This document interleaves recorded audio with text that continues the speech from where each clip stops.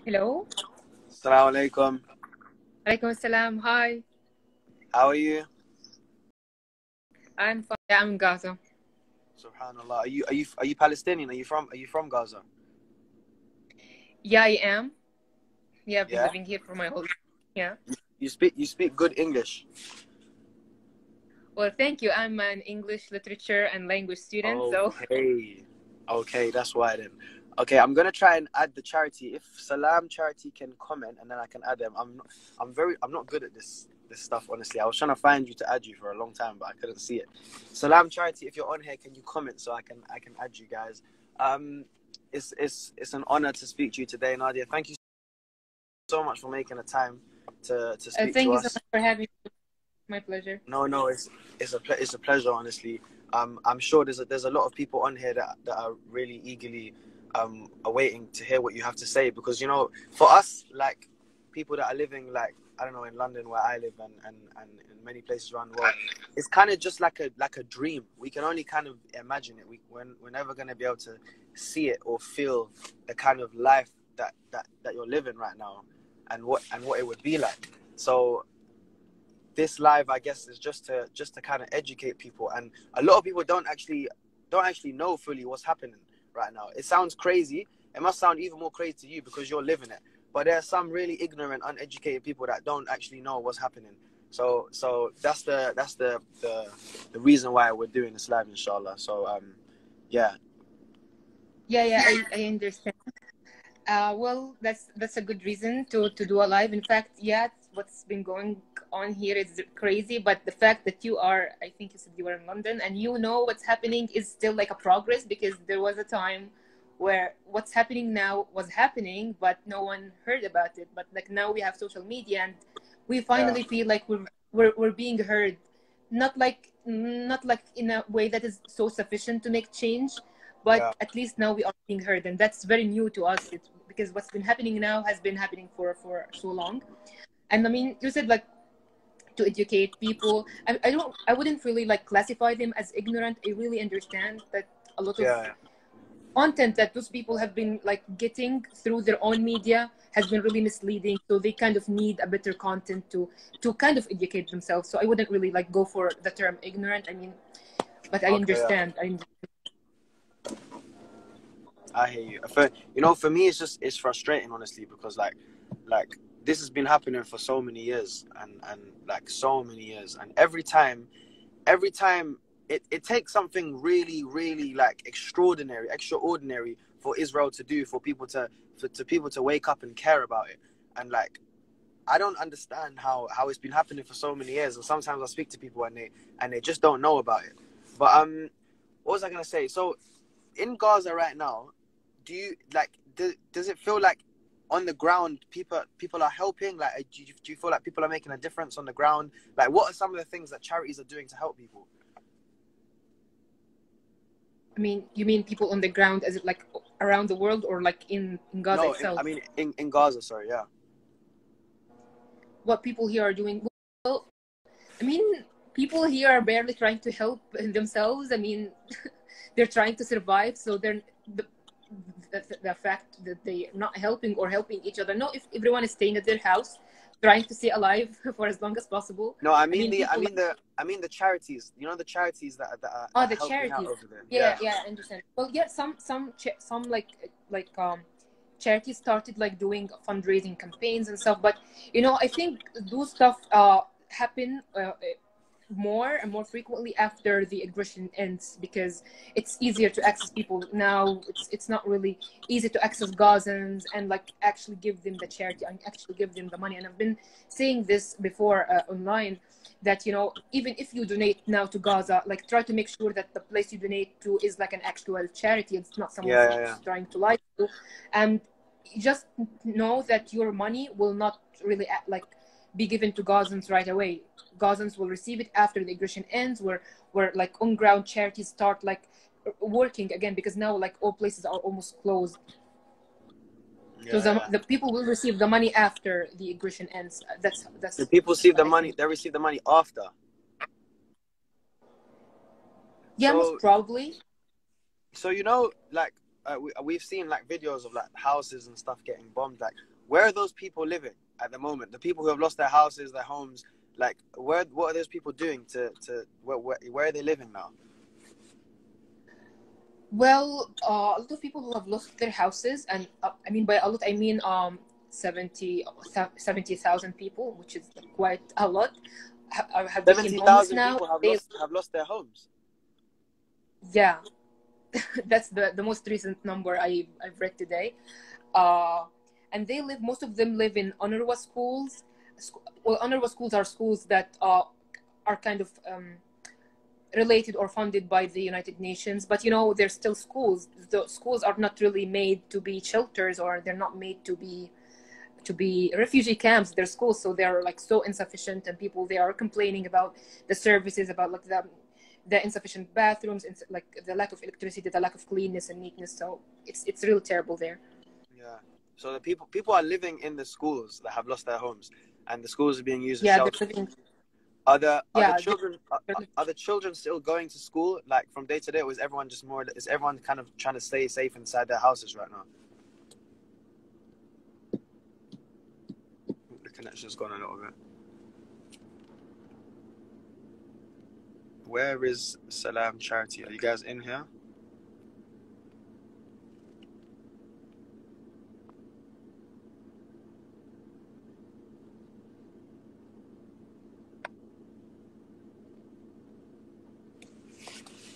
Think I think we've lost her. Guys, is, is can you guys still hear me? Is the connection still good? Oh, we've lost her. We've lost her. Okay, at Salam Charity. Okay, here we go. Go live, Salam Charity.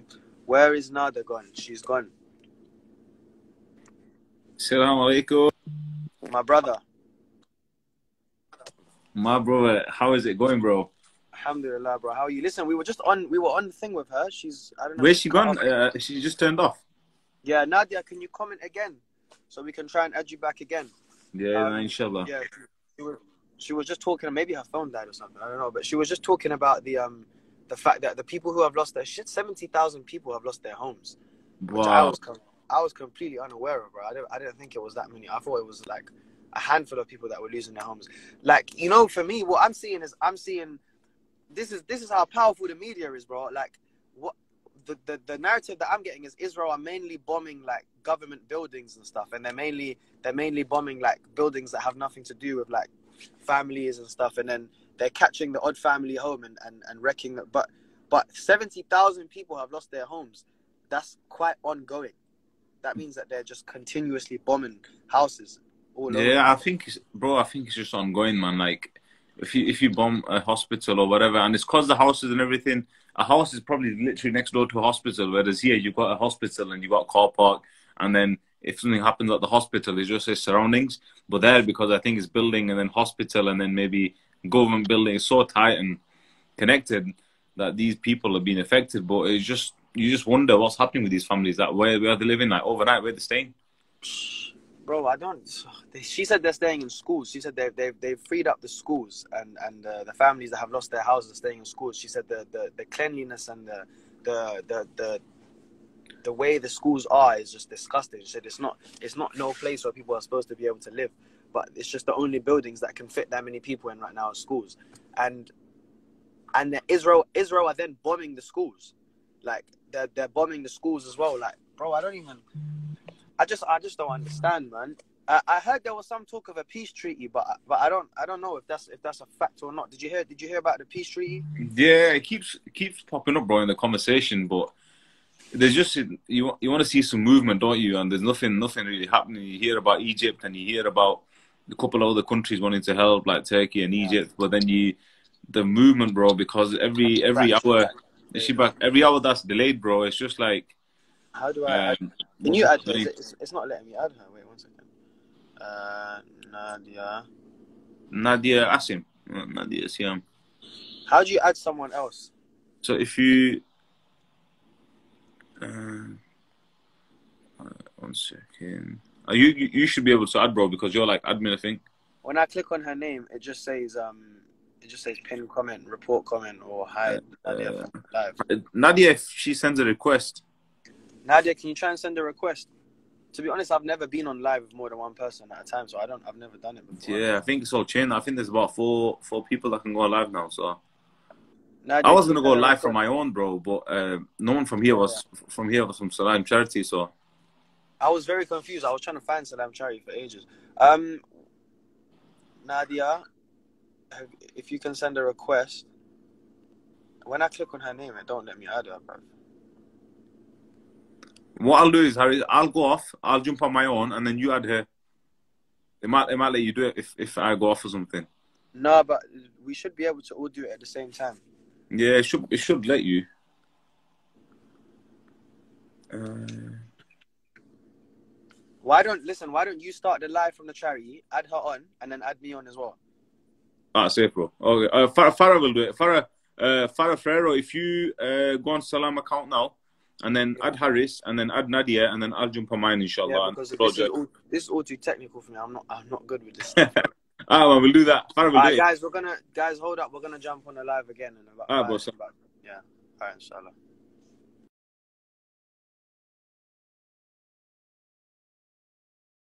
Is it Nadia Asiam? Yes. Yes, yes.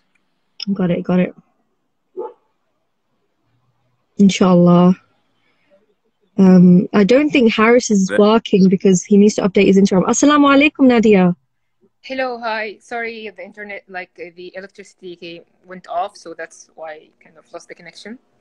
It's okay, it's okay. So I'm I'm so sorry. My name is Farah. I am um I work for Salam Charity. This is my colleague uh, Uzair. Assalamu alaikum. Um, nice sister. to meet you. Alaikum salam. Nice meeting you guys. Thank you for. Likewise. So what is the current situation in Gaza right now? Well, generally, the aggression has been going on for around 12 days now. The bombardment is very intensive. It's, it doesn't stop. I mean, if it's like less severe in one area and it's more severe in another area, but generally, it's it's it goes on all the time. And yeah, I mean, there are 230 people have been killed. Uh, 65 of them were children, 17 were elderly, 40 were women. Uh, a lot of people lost their home, their houses. I was just saying that like around 70,000 people are now homeless, and SubhanAllah. and like count like a, a, a lot of other like places have been targeted that like not home homes but like centers and infrastructure. So the situation in general is very intense and hard. You know i'm so sorry that you you are you guys are suffering right now and you guys are going through this um i want you to know that everybody in the world is you know protesting sending so much love and duas to you guys honestly like since it's happened everybody is literally being your guys' voice and going hitting the streets and doing everything that they can on your we're trying, behalf yeah, we're trying everything. Yeah, We're we trying. see this and it really means a lot to us. I mean that that re- that really is a beginning to a change. We really Can appreciate. you can you can you can you Nadia? Sorry, can you tell the people? You know, because we have we've been having protests here for the last like week or so. Um, people are people are trying to to, to, to to gather the numbers and and can you tell the people what it's like for people in Gaza and people in Palestine when they see when they see people at protests like supporting them and stuff yeah? Because a lot of people they, they say here oh we, we there's no point there's no point us going to protest. What good does it do if you protest? And uh, what what how are we helping them? Can you tell them what it's like for, for when people actually see um sorry when people actually see the the ummah supporting them? Yeah, well, I, as I was just telling you that you know having this much support is kind of new because basically Gaza has been going on for so long now. I mean, this is the fourth question we have had. Uh, but like what's different this time is that we've been seeing a lot of people interacting with what's and like people protesting, and that at, well, i- in the least provides us with like kind of um kind of emotional support, let's say. But in fact, Yeah. there, there is a point. There is a point that those people can kind of pressure their governments to make a change because you know the UK government or is kind of always biased towards Israel. But when they see that their own people are against what the government stands for, then the government would kind of be forced to make a change. So the the harder they push, the more the more possible that that a change will happen. Inshallah, inshallah. Um, I mean, I am here in Leicester right now. I'm going to show you where I am. Oh mashallah there's a protest So you know exactly what Harris is saying. We want to know that you guys are seeing everything. We are supporting you, even though we are thousands of miles away. Our hearts are there in Al Quds with you. Our hearts are in Gaza with you. So, inshallah, none of this will be in vain and this will all be worth something. So, Salam Charity are currently giving emergency medical aid in Gaza and East Jerusalem. They are also providing food because we know that inflation is so high, things are so expensive. It's so important to, it's, it's like we are telling the world that we are providing them with basic necessities, you guys with basic necessities that every human should have access to, isn't it? Yeah, that's true. That's true. Thank you so much. No, honestly. And if, what is it that you guys need? What is it that you guys need from us? What's the best thing that we can do for you? Yeah. I mean, all help is really appreciated, but I mean, the, the, the raising awareness is the thing that would like in the long run cause a difference between because now like now we urge like we urgently need uh, help that's connected to the health sector, sector and stuff that are related to, to, to war to what's going on now. But when this is over the the palestinian cause is not over because and it will still go on. So the more aware people are of what's happening the the, the the better the change will be because you know in the long run we might stop needing food like urgently needing food or needing like medical supplies but we would still need to be our cause will still need to be like uh, there talked about Nadia, can I ask a question? You know, when we when we see like the videos sometimes of the of the bombs dropping, sometimes we see people like in Gaza, like they're, they're, they're it's like they're they're ready, like they know the bomb's about to drop. Like, is there like a process that people have like become accustomed to, like the people who are the citizens who are living there, that they know when there's rockets dropping from the sky, they know to run, they know to start running. Well, yes. Uh, well, the the kind of bombings vary. So, but sometimes before they bomb a place, they they bomb it once with like uh, a warning bombing that warning doesn't cause damage, and that would kind of uh, alert people to just like go out, and people would go out, and people would call their neighbors, and their neighbors also would evacuate. Sometimes they might just call a person and tell them like, okay, you go and tell those people to evacuate or this house to evacuate, and they do. Other times they don't do that; they just bomb the house without like without a, a prior warning. So that's that explains why a So- lot of families have died in like in So the war, so the warning, the warning bombings are basically them being them being nice in the, in their eyes, and then but but a lot of the time you're saying they don't even they don't even drop the warning bomb. They just they'll just drop a normal bomb.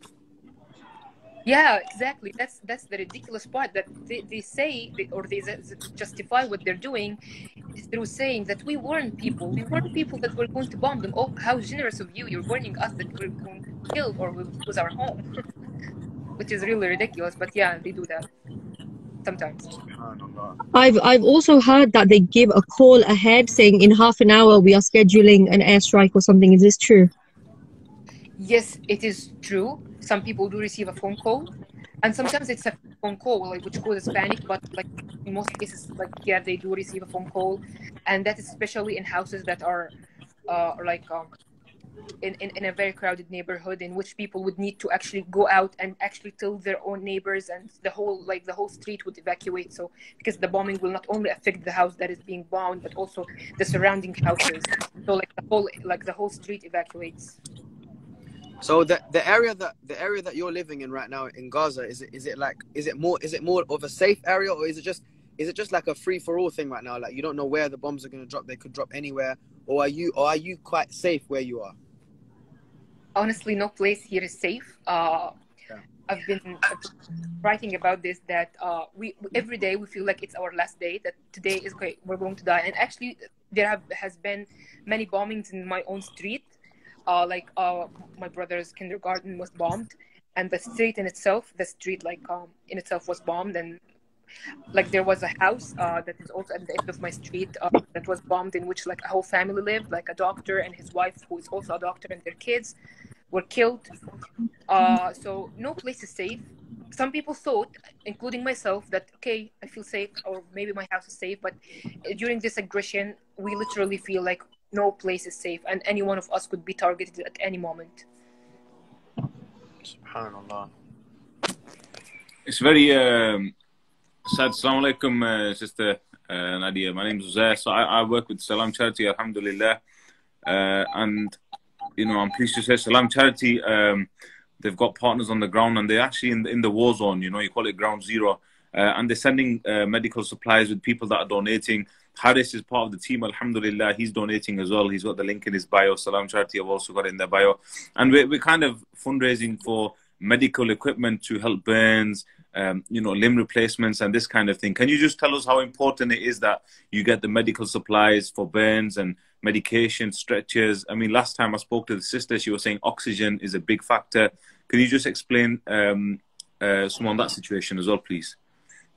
Yeah, well, um, Gaza has already, even before this aggression, we've been under uh, the Israeli blockade for um, for over 15 years now, and this blockade has had its its effects on all aspects of our lives, including the health sector. The health sector, even before Corona, even before this aggression, was already suffering from shortage of a lot of equip- equipments. Uh, it's like health cent- centers and hospitals are underfunded, doctors are underpaid, uh, and like places are overcrowded, and like the there are equipments that are even banned to be entered that are needed, including I think like what you've mentioned. I'm not really sure of this exact thing.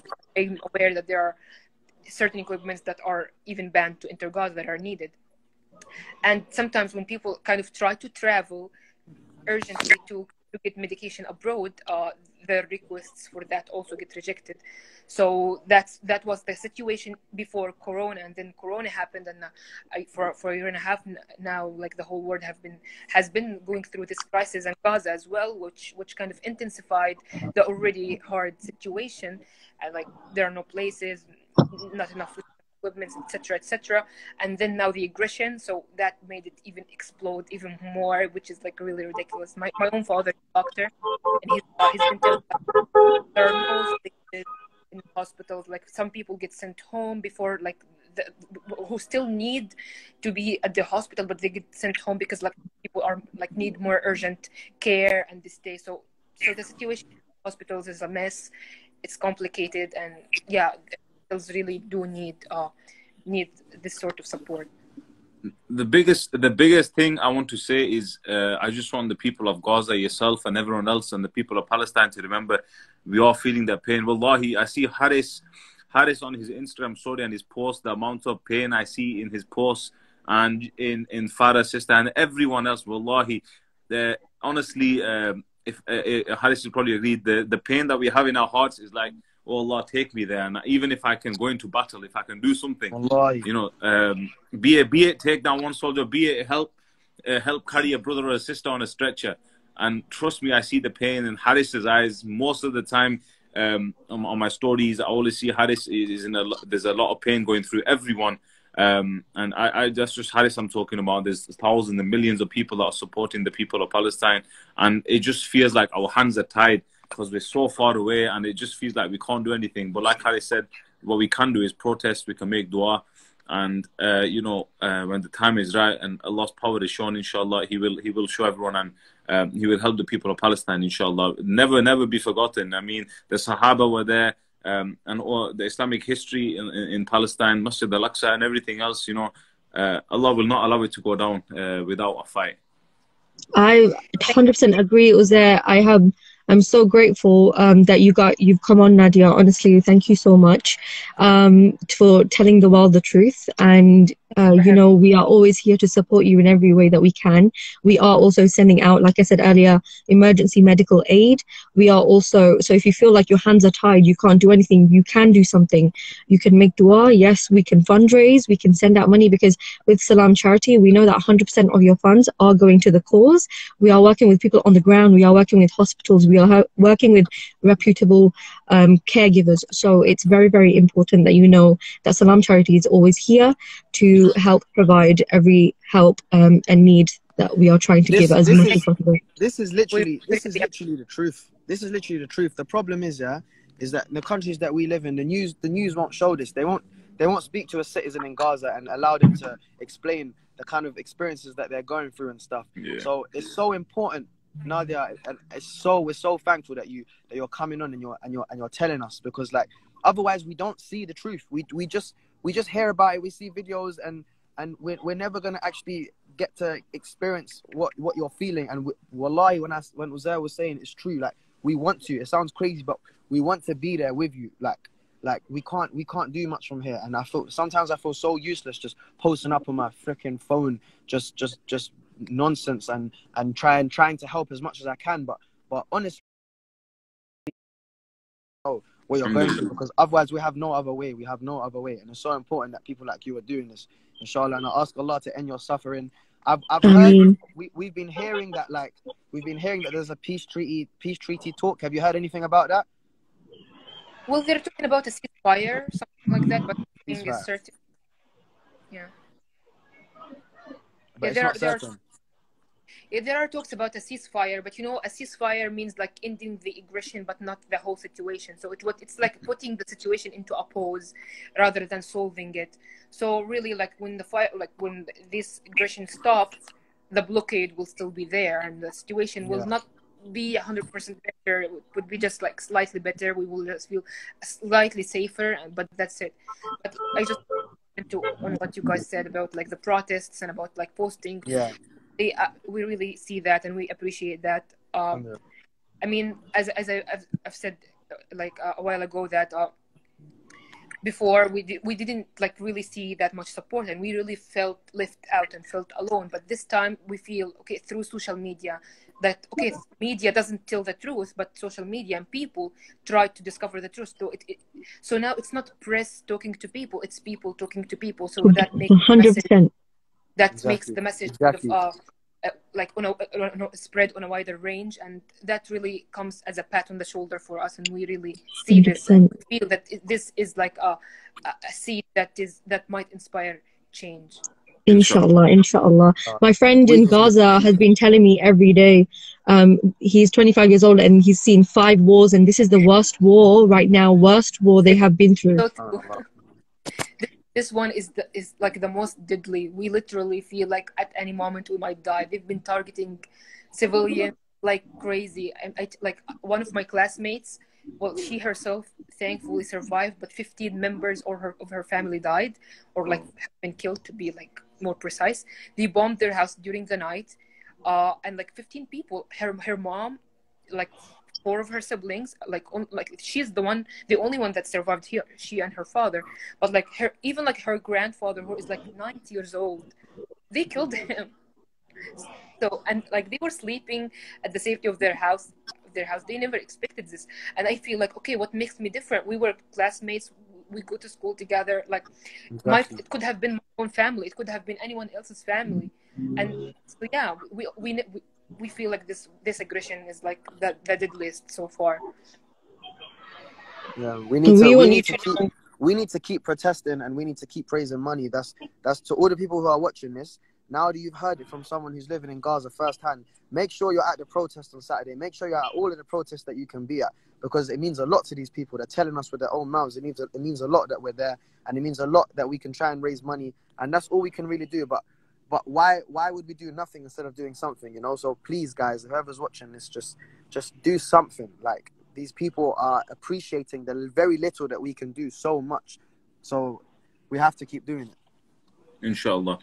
Inshallah, inshallah. And all of these places uh, that are supporting, um, they are right on our doorstep. We are right here in Leicester, and inshallah, we will incite change. It happened positively. We did it with South Africa, we did it with Bosnia. It is possible, and social media is the strongest it's ever been right now. So it's so important that. Um, Nadia, you were telling us your account. People are, again, you said, speaking to people. Is we are not relying on the, the mainstream media for everything and we are speaking to you firsthand. You are there right now. Um, you know, I'm constantly in talks with people in Gaza as we speak, and every single day they're showing me videos. We've been called. We've been. Uh, they've sent us a warning. We have to evacuate. Our family are somewhere else. You know, all of this. If this was happening to us right now, we would be broken. You are so strong. You are honestly so inspirational to us. Um, mashallah, we admire you so much and we want to give you strength. We want to show that everyone in the world here is praying for you and raising for you guys, and we are sending as much aid to you guys as possible. So, guys, remember the link is pinned below. Um, please go on Harris's link, and we will, inshallah, send that aid um, directly to Gaza and East Jerusalem where they need it right now. Inshallah. one final thing from me, sister, is um, the people of Palestine. I was at the masjid and they were saying the people of Pal- Palestine they have a lot of iman. Mashallah, the, the people have a lot of iman. They have a lot of yaqeen, and they have a lot of iman in their deen and in Allah Subhanahu wa Taala, and that's what's going to help, inshallah. You see some of these pictures and videos of these elderly women and these little little children, and they're standing up to the Israeli soldiers and their guns in the face. Wallahi, if we were there, we would run. You know, we would, we would run from those places. These little kids, they're soldiers, they're soldiers of Allah, and uh, the iman that they have, and Allah will protect them, inshallah. And um, we just want you to remember, like Harris said, like Farah said, always in our du'as, there's a lot of pain in our hearts every time we see a video or a picture or a destructive building. There's a lot of pain in our hearts, but we make dua, inshallah, and um, you know, Allah, Allah, Allah is the is the one uh, who accepts, and inshallah, He will accept one day. And um, we, we pray for peace, inshallah. Inshallah. Inshallah. Inshallah. All right, inshallah. No, Thank you you. guys, Thank you. so much. Jazakallah khair. And inshallah, speak to you guys soon. Inshallah. Thank you so much. Assalamu Nadia. alaikum. Stay safe, Salam inshallah. Wear my prayers. Thank you for having me. Thank you for having me. Assalamu alaikum, sister. Bye.